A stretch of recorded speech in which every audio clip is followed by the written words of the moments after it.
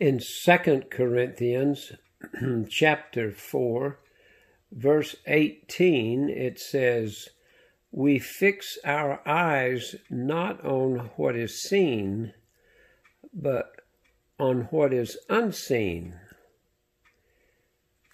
This is referring to looking at the spiritual and looking at the eternal, the qualities that last forever.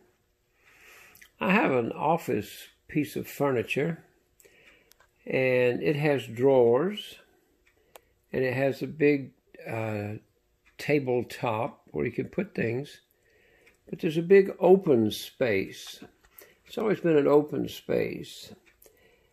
And I began to see the unseen, and I could see how that open space was being wasted. And so I envisioned a shelf and other shelves where various pieces of equipment would fit, and there would be an extra shelf to, to put things on, like an extra desk shelf. And then the other equipment fits in the middle.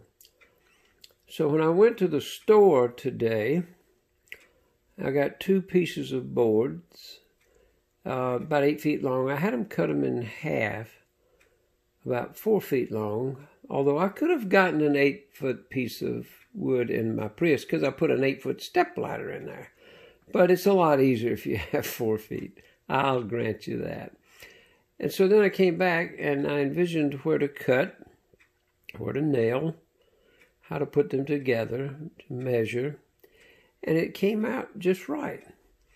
Now, if anyone walked in now and looked at this, they would think, well, that's naturally there. It's always been there, I'm sure. But it hasn't. It takes a mind that can envision something before it happens. God envisioned you. He envisioned you with your talents, your gifts. He envisioned you with all kinds of special qualities that no one else has. He made you special and unique, a peculiar treasure. And so today, for this daily dose of Darryl, I want you to realize that before you were, God knew you. He envisioned you.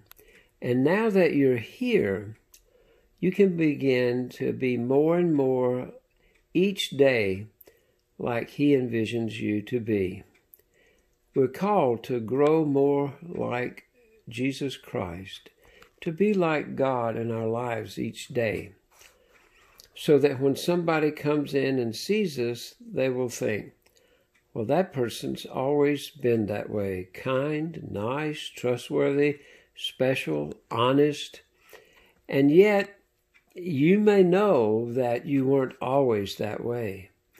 So let's envision the same vision that God has for us and allow Him to shape us and mold us and put us together so that we're useful and that we fit in just the way He sees us fitting in to His will, His purpose, and His mission. This is Daily Dose of Darryl, asking you to be sure to have a great day. Make it a great day. It's the only one you have. And I know God will bless you.